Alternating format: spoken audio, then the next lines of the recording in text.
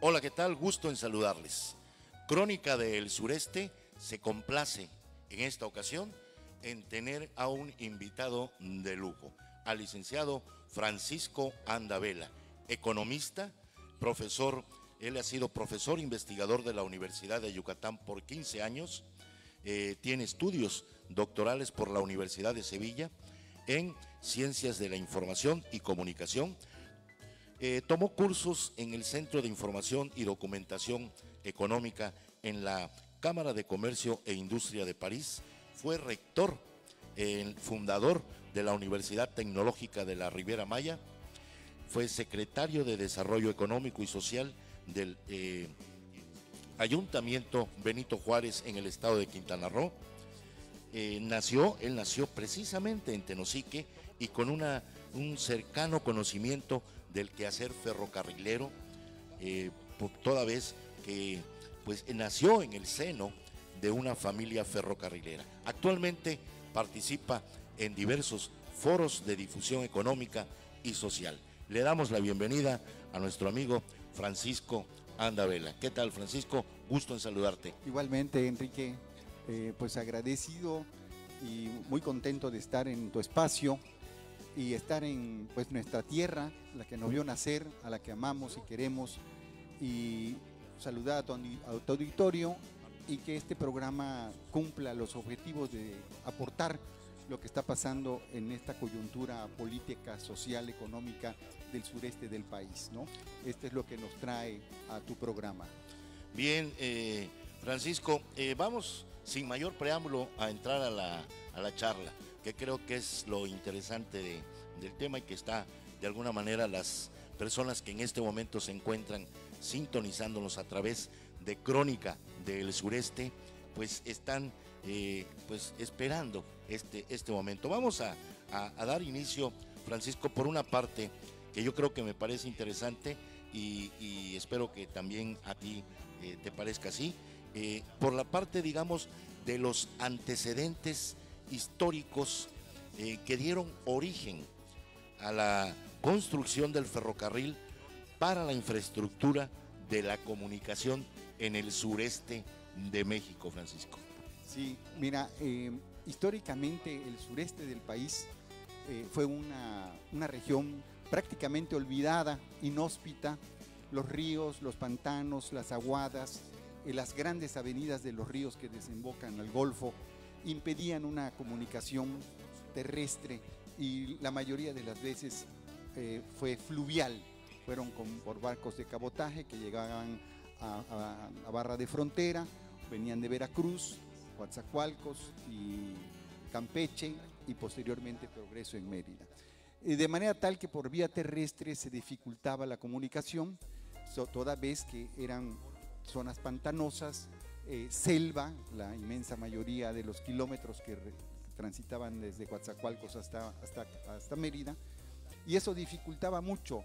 Si tú te acuerdas, Tenosique hasta los años 60, fines de los 70, eh, principios de los 70, era un pueblo incomunicado prácticamente, porque había que cruzar por la vía fluvial. Pues la vía fluvial era la que se usaba porque venían los barcos desde, desde Villahermosa había una red de una cantidad importante de barcos que venían, el Clara Ramos, el Plutarco Elías Calles, el Álvaro Obregón, el famosísimo Carmen, que se quema en 1955, que llegaban a frontera y de frontera remontaban el Usumacinta hasta su, punto final que era Tenosique, ¿no? Pero por la carretera, cuando nosotros empezamos a fines de los 50, principios de los 60, 60 kilómetros escasos nos separan de, Emiliano Zapata, que Emiliano Zapata era ya el punto comunicado por vía carreteras más o menos eh, bien hechas, que era la carretera panamericana.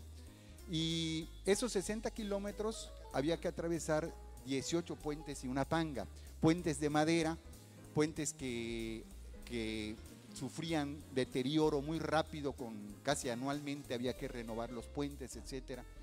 Y a fines, a mediados de los 60 entró por primera vez el ADO, el ADO a Y fue un gran acontecimiento que llegara el ADO, porque incluso este, eh, los puentes, como al ser de madera, eran muy endebles y el ADO tenía que pasar exactamente sobre la trilla de madera, del tablón de madera que tenía el puente, que no tenían además barandales los puentes. Ya en la época, regresando al tema del, ferrocarril, eso te estoy diciendo en el tema de las carreteras, ¿no? Sí, sí. Volviendo al tema de los ferrocarriles, de la época, desde la época de Cárdenas había una preocupación del general Cárdenas de integrar el sureste. Ya había un intento importante en Yucatán, cosa, un intento que fructificó. En 1875 se, hizo una, se empezó una red ferroviaria interna en, Yucatán que con el, primer ferrocarril que se hizo en 1875 y se inauguró en 1881 a Progreso. Fueron escasos 28 kilómetros de Mérida a Progreso para sacar fundamentalmente el Enequem, pero que posteriormente eh, don José Rendón Peniche siguió la construcción de esa red ferroviaria hacia Espita, hacia Peto, hacia Tizimín, hacia Izamal, y entonces eh, consolidaron en, la península y fundamentalmente en el estado de Yucatán una red ferroviaria única prácticamente en la República Mexicana. Sin embargo, el sureste seguía olvidado y había un problema eh, muy importante, muy nodal, que era cómo solventar el cruce del río Sumacinta. Y los estudios de prospección que se hicieron por instrucciones del general Cárdenas y posteriormente con los, siguientes presidentes de la República, que ya empezaron la construcción, se determina que en el punto llamado Boca del Cerro, donde se encajona el Osumacinta, ahí había la posibilidad de hacer un puente que no sufriera las consecuencias y los embates de las grandes avenidas del río. Y es por eso que esta región cobra importancia, porque si tú agarras un plano de la red ferroviaria, de Escárcega, Candelaria, hacia, hacia Tenosique, prácticamente es una caída hacia, buscando el sur y buscando la frontera con Guatemala para encontrarse con el, punto de, llamado Boca del Cerro, en donde a fines de los, de los 50, a fines de los 40, perdón, principios de los 50, se concluye el, el puente y esto permite, hace posible la comunicación ya de Campeche a Coatzacoalcos. Entonces, eh, es importante esto porque muchos pueblos crecieron y se desarrollaron al calor de, las rieles del tren, del ferrocarril. Y en ese momento, eh, las construcciones de los ferrocarriles siempre han sido muy azarosas, muy difíciles, pero más en cuando, tocamos la selva tropical, cuando tocamos ecosistemas, cuando tocamos eh, ambientes inhóspitos, malaria, paludismo, eh, lesmaniasis, eh, gente que, que con muy valiente para construir los ferrocarriles, y más en aquel entonces. Tenosique fue recipiendario de una migración de ingenieros, topógrafos, ingenieros hidráulicos, gente del Politécnico de la UNAM, trabajadores del Riel, entre ellos vino tu padre, mi padre era instructor de locomotoras eléctricas y maquinista eh, de caminos. Posteriormente vino como director de la Escuela de Capacitación del Ferrocarril del Sureste aquí, que se estableció en Tenosique. Y como pues se casaron muchísimas gentes que llegaron, doctores, etcétera, pilotos aviadores, este, eh, comisión de eh, personal de Comisión Federal de Electricidad, que hicieron su hogar en esta región. Allá ah, había un antecedente con la explotación del chicle y de la madera, que los, españoles que llegaron aquí se asentaron a principios de los 800, a, fines de los 800, principios de los 900, que eran familias eh, notables que se asentaron fundamentalmente en Usumacinta, en el poblado de Usumacinta, que ahí además estaba la, la, cabecera municipal, por eso se conoce como cabecera, y ahí había una casa que hacía las veces de ayuntamiento, que era la consistorial.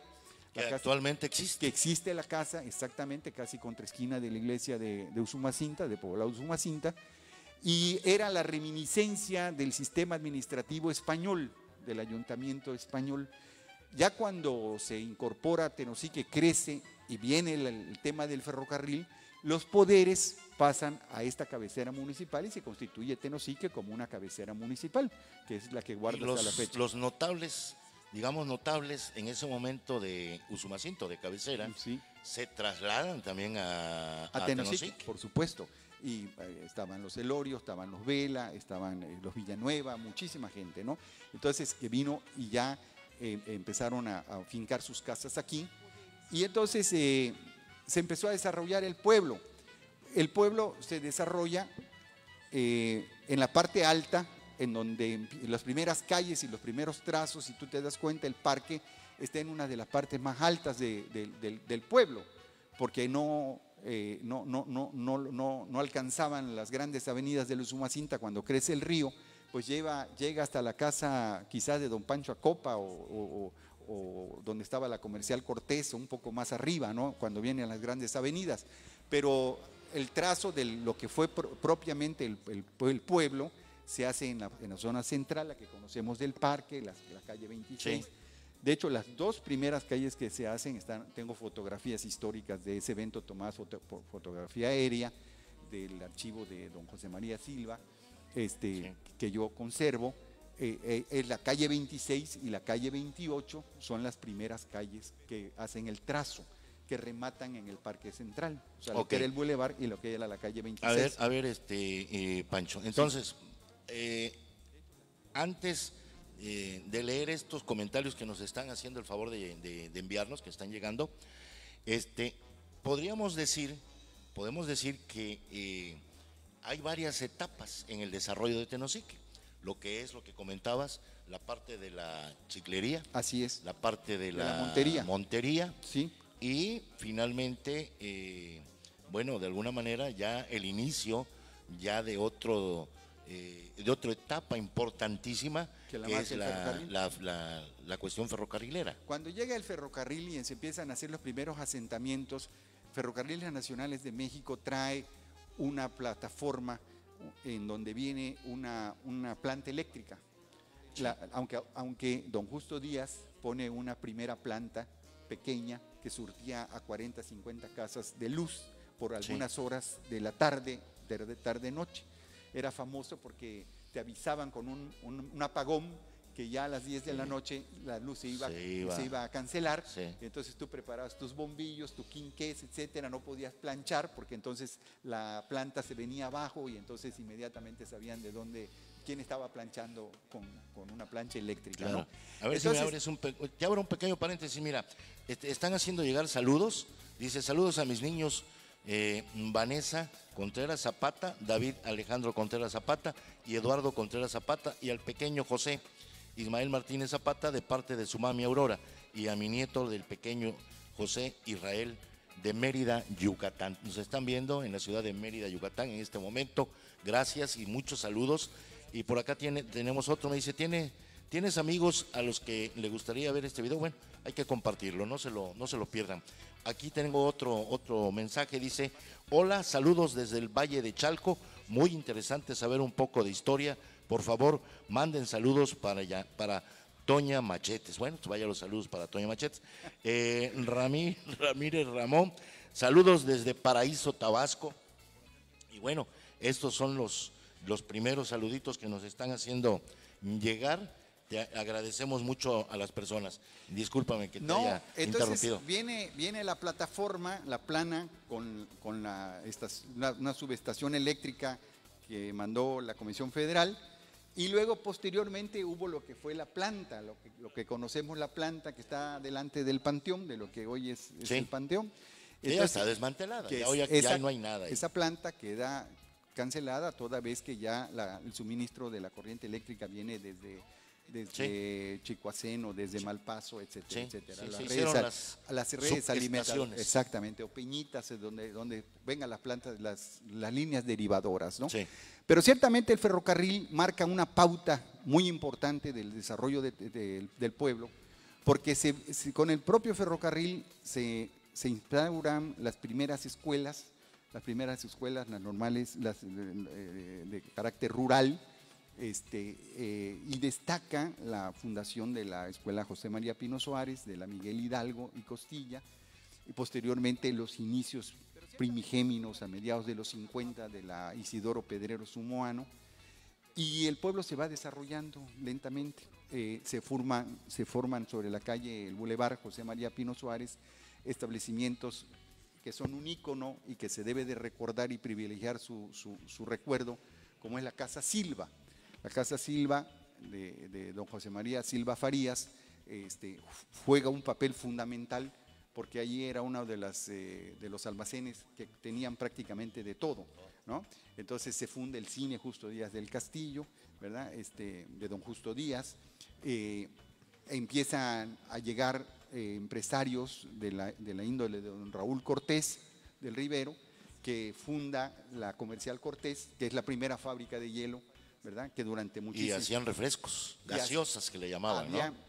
no en ese sitio, sino más, más arriba, ahí al lado de don de don, la casa de don, del profesor José Fernández Astré, había una fábrica de Osorno, se llamaba. Ah, y habían otros, otras, otras eh, gaseosas que, se, se, producían ahí en ese sitio, ¿no? Y, bueno, te digo, te estoy hablando de íconos de, industriales o, que se desarrollaron, te repito, al calor de los ferrocarriles. Nosotros eh, transitamos y, teníamos una comunicación directa con eh, el sureste, con Yucatán fundamentalmente, y muchos comerciantes de Tenosique comerciaban con Campeche y con Yucatán, pues porque era muy cómodo agarrar el tren a las 10 de la noche y amanecer a las 8 de la mañana en Mérida, ¿verdad? Claro. Y había una tradición del Pullman, donde los carros Pullman, que llevaba su coche comedor, había un gabinete, había una cama baja, una cama alta, una alcoba, y era, era por lo demás eh, interesante viajar en el ferrocarril, ¿no? ¿Qué te puedo decir yo? Pues yo, mi vida transcurrió arriba prácticamente de los trenes, mi padre era ferrocarrilero, era maquinista de caminos, de pasajeros, y fue, te digo, durante algunas, algunos periodos superintendente general de transporte y, director de la escuela de capacitación. Fue una gran época de Tenosique. De, de maravilla porque el, ferrocarril jugó un papel eh, extraordinario en el desarrollo no solo de, de, Tenosique, sino de muchísimos pueblos que, tanto para Coatzacoalcos como para la ciudad de Mérida, se desarrollaron, se fundaron. Puerto México, ¿no? Puerto México, porque los americanos, los, los, norteamericanos no podían pronunciar Coatzacoalcos, entonces le pusieron, ellos mismos le pusieron Puerto México. Entonces, pero en realidad era, era Coatzacoalcos y sigue siendo Coatzacoalcos, ¿no? A mí me toca todavía la, la, la aventura de llegar a, a Coatzacoalcos y tener que cruzar en Pangas a una estación que había del otro lado del río Coatzacoalcos que se llamaba Aldama. Entonces en Aldama te estaba esperando un tren que era el que te llevaba a la Ciudad de México. Entonces tú llegabas a Coatzacoalcos y corrías a las, a las chalanas, a las pangas, cruzabas y te volvías a subir al tren que te estaba esperando para llevarte a la Ciudad de México. ¿no? Entonces fue una época de mucha aventura, o sea, de mucha, de mucha tradición. Todo esto se desarrolló, eh, se consolidó y entró en una etapa de, de gobiernos, malos gobiernos, pésimos gobiernos, incluso yo me atrevo a decir perversos gobiernos, que con toda la, toda con toda puntualidad quisieron destruir los ferrocarriles. Y lo, consiguieron. Sí, se logró, lo lograron. Cedillo empezó con la privatización. Había una película, hay, hay un artículo que yo leí hace muchos años, se llama Viento Negro, y había una película que se llamaba Viento Negro con David Reynoso, Mercedes Carreño, que relata la construcción del ferrocarril precisamente del Chihuahua al Pacífico cuando pasa por el desierto de Altar y se, y se, y se pierden unos ingenieros ferroviarios. Pues así, así como esos vientos negros, como esa película, le llegaron en la época de Cedillo, esos vientos negros, así fueron esas actitudes negras y esos vientos negros para los ferrocarriles. Sí, acabaron el ferrocarril. Y las estaciones como la nuestra, que eran nuestro orgullo, ¿verdad? Llegar a Tenosique, te vendían café caliente, había un buen restaurante, sí, este, ¿cómo no? Eh, te subías al pullman, había el servicio de comedor, pasaba un individuo con una marimbita anunciando que el servicio estaba dispuesto, como en, como en las películas del oeste en los Estados Unidos, y todo eso esto se vino abajo, ¿no? Un sindicato que prácticamente desapareció y ahora con este gobierno se renacen las esperanzas. Yo siempre critico que eh, haciendo un paralelo con la frase de Carlos Pellicer, nuestro poeta del trópico húmedo, que decía que en Tabasco la tierra no termina de hacerse, pues tampoco nuestras carreteras, Enrique. Porque si tú te das cuenta, tenemos años construyendo las carreteras, carreteras. y no conseguimos terminar las carreteras. Es penoso ver transitar nuestras carreteras y ver cómo se están, están las cuadrillas reparando y reparando y reparando.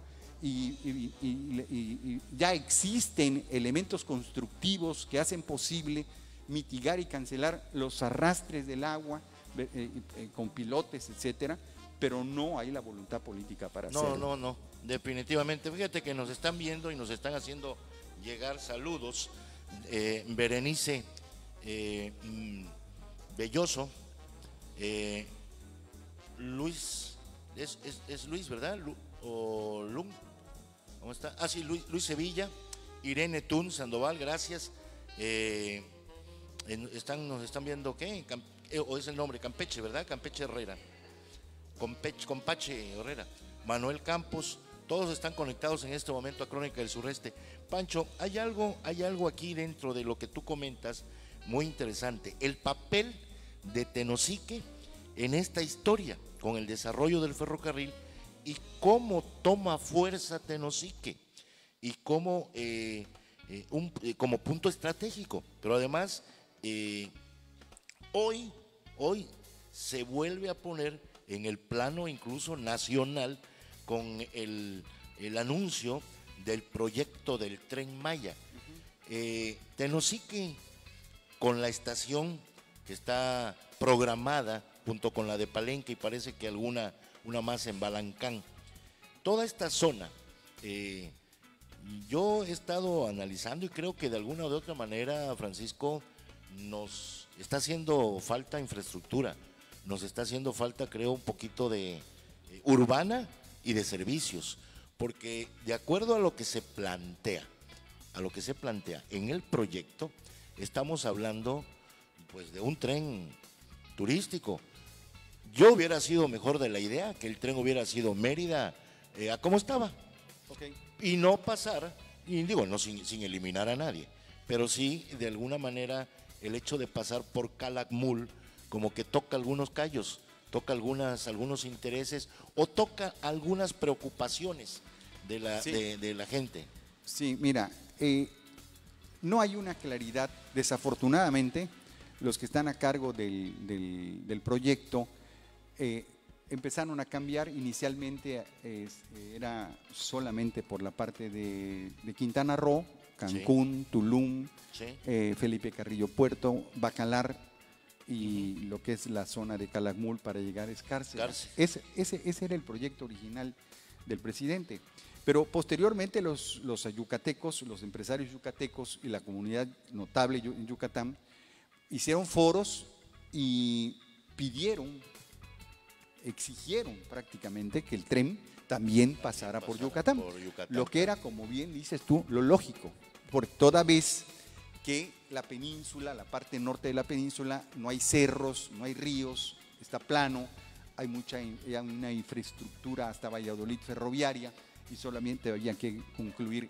Yo en algunos foros eh, eh, opiné, ¿verdad? Y sigo opinando, que la parte medular para, para, para entrar en materia de lo que se debería de hacer era rehabilitar las vías existentes de Coatzacoalcos a Mérida, como están Ahorita el tren, el tren este que le llaman la bestia, mal llamada la bestia, yo le llamo el tren de la esperanza para millones de migrantes que andan buscando cómo generar ingresos para mandar a su familia. Y el tren no solo de la esperanza, sino el tren que, que justifica la conexión, la conectividad de, los migrantes, eh, debería de ser, ese tren anda, camina alrededor de 15, 20 kilómetros por hora. Por eso es fácil subirse al tren. Entonces, si nosotros habilitamos esa red ferroviaria en donde viaje como hubo, como se, viajaba en época en que yo era, era chamaco, a 80, máximo 90 kilómetros por hora, ya es un tren de mediana velocidad y, y de correcta velocidad. Pero como se deterioraron las vías, los durmientes se pudrieron, ahora los están tratando de poner con concreto. Eh, los rieles se desgastaron, sufrieron una fatiga mecánica y no, se, y no se renovaron los rieles. Hoy siguen rehabilitando las vías con el, con el, el, armón, una plataformita, y llevan dos, tres durmientes. Eso ya no es, eso es de la prehistoria. Si nosotros queremos entrar a la modernidad, hay métodos e implementos constructivos ferroviarios de, nivel, de mucho nivel, de mucha efectividad. Y hay que atender eso, ¿no? Entonces, eh, la parte medular es reconstruir, restituir la red ferroviaria de Coatzacoalcos hacia Mérida de forma correcta. Yo opinaba inclusive que el, el, tren por la movilidad tan grande que tiene y tenemos, porque yo vivo en esa zona de la Riviera Maya, de los que nos trasladamos de, Cancún a Tulum, había que hacer un tren rápido, tipo metro, ¿verdad? Sin tanta complicación, pero que solucionara el problema de tanto accidente, con tanto turista, donde los trabajadores se desplazan cotidianamente, y son 120 kilómetros de, de, Cancún a Tulum, y que se pudiera solventar con un tren rápido como los que existen en la Ciudad de México. Entonces, este, más que meternos en una hondura de estar implementando un, tren que va a pasar por la reserva de la biosfera, primero de Siancam y luego de Calakmul, en donde estoy seguro que van a haber muchos, muchos que van a denostar el proyecto, que lo van a criticar, incluso van a pedir su cancelación. Hay gente muy preparada en UNAM, hay gente muy preparada en el Politécnico que están pidiendo que se revise, que se revisen las manifestaciones de impacto ambiental y que, y que en el mejor de los casos se cancele esa parte, ¿no? Eh, hay muchas cosas que se opinan al respecto, que si se van a agredir a los ejidatarios, que si se van a agredir a las cuestiones ecológicas. Eh, el, tema ecológico es un tema delicado. Ya le hemos hecho mucho daño, sobre todo en, en, muchos, en muchos lugares de la República y fundamentalmente, te digo, en el caso de Quintana Roo, en donde se le ha hecho mucho daño al entorno ecológico hemos agredido la naturaleza. Se han hecho carreteras, por ejemplo, de, de Holbox a Playa del Carmen o a Puerto Morelos, a Cobá, Playa del Carmen, en donde se ha fraccionado la selva. Y además da pena de que los ingenieros estos que construyen estas carreteras pues ponen unos trapecios allá para que supuestamente los monos no pasen por la carretera, sino vayan por ahí arriba como, como, como brincando la selva. Eso, eso es imposible, ¿no? O sea, eh, los animales, las provincias habitacionales de los animales, con solo oler la gasolina, ya se sienten agredidos. Claro, ¿Ah? claro, Gasolina, carro, eso es muerte para ellos, ¿verdad? ellas son humanos y por lo tanto se modifican las provincias habitacionales. Te hacen llegar saludos Aurora Isabel Zapata. Eh, Gracias. Eh, también eh, Prisciliano Rodríguez. De Miguel. de Miguel. Nuestro amigo Prisciliano. Carlos Brown también. Gracias. desde Cancún. está viendo en Cancún. Desde Cancún. Luis Ascuaga. Igual. Don Luis, igual también. Igual, te hace llegar muchos saludos. amigo mío, felicita, Don Luis. Entonces, hay, que tener, te digo, hay, muchas cosas nebulosas todavía, muchas cosas indefinidas. Todo el mundo habla del tren, pero no tenemos la certidumbre de por dónde va, cuándo comienza, este, de qué tipo, de qué naturaleza va a ser, ¿verdad? ¿Qué, nivel de infraestructura eh, va a tener? Eh, yo he tenido el privilegio de viajar por varias partes del mundo y un tren de gran velocidad como el que va de París a Lyon, que viaja a 290, 300 kilómetros por hora, con una altísima tecnología, y no de ahorita, sino de hace 35, 40 años, como el tren bala de Osaka Tokio.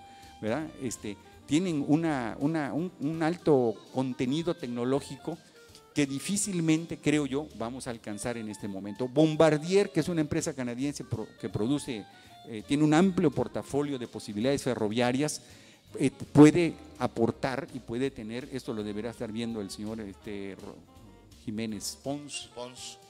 Este, y eso puede ayudar, pero más allá de eso, olvidémonos de que viaja a 300 kilómetros, ¿no? El de Shanghái en Pekín, ¿verdad? Son, viaja casi a 600, como si fuera un avión, Un, un, un, jet, a esa velocidad va, no, no una avioneta, porque el, el tren, el TGV de París a Lyon viaja a la velocidad de una avioneta, Una avioneta. ¿verdad?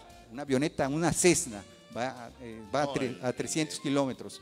Entonces, eh, con que nos si, si podemos consolidar de nueva cuenta una red ferroviaria eh, eh, de pasajeros y de carga de Mérida a, a Coatzacoalcos, yo creo que este, este, esto va a resurgir Sí, claro. y va a consolidar.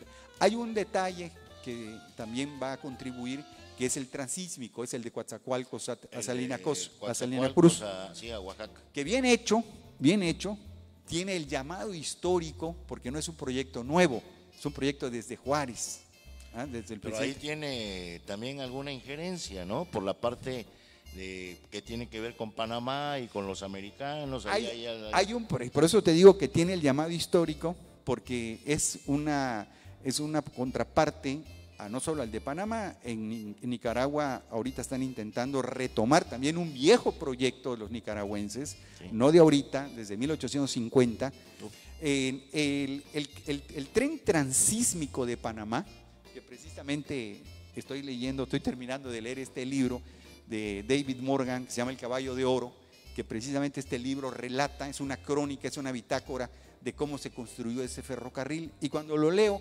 parece que estoy viendo cómo construyeron nuestros padres el ferrocarril de Coatzacoalcos a, a Mérida, ¿no? Entonces exactamente igual, con las mismas, con las mismas características, con los mismos, los mismos, eh, la misma temeridad, la misma valentía, con los, con los mismos retos a vencer, Sí. con cientos de gente que se quedó enterrada bajo esos rieles, ¿verdad? Que héroes desconocidos, desconocidos. eh, que murieron de peste, de malaria, de, de cólera, de infecciones intestinales, etcétera, etcétera, ¿no?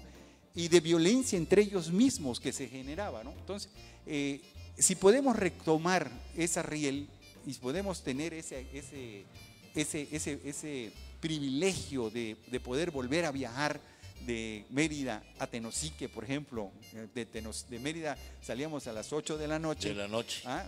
Cenabas en el pullman, ¿verdad? En el pullman, en el, coche comedor, te ibas a dormir y cuando amanecía estabas en, en, en, en Tenosique. En Tenosique, Era un correcto. privilegio, ¿no? Entonces, este, este libro del caballo de oro me recuerda mucho porque en alguna ocasión eh, vimos pasar en, en- en transitar sobre, sobre la, la riel del ferrocarril del sureste un tren que se llamaba la Margarita de Oro. No sé si tú llegaste en algún momento, Enrique, a, a- a saber de ese Margarita de Oro. Ese Margarita de Oro era, era el dueño de Amtrak, socio de, también de, de- de- Santa Fe, de una de las redes de los consorcios ferroviarios más Ferroviarios. importantes del sur de los Estados Unidos. Entonces este señor tenía un tren que era pano- panorámico, los, en lugar de techo habían dos, tres vagones que eran de vidrio, ¿ah? Entonces tú podías ver eh, en, en- a todo, en vivo a todo color el, el- en el paso por la selva, por los ríos, por las cañadas, por los puentes, etcétera. Y la cena era espectacular porque estabas al- ibas sobre el, sobre el tren.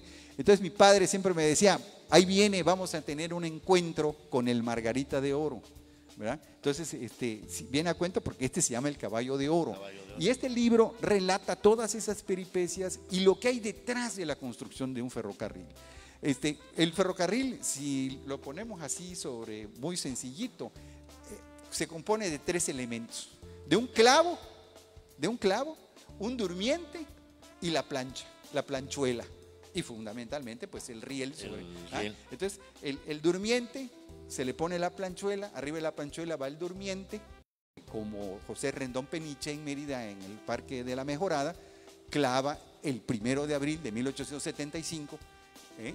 a las 10 de la mañana, este, el, el- el primer clavo que inaugura la, la construcción. La construcción. Pero hay por detrás toda una serie de intereses, préstamos, eh, envidias, recelos económicos, cuestiones geopolíticas, que es lo que estaba, va- está ocurriendo ahorita con Sí. el tren transísmico, ¿verdad? O sea, si se hace el tren transísmico y se hace correctamente, va a ser un, le va a haber un, un pequeño boquete, si tú quieres, a lo de Panamá o a lo de Nicaragua.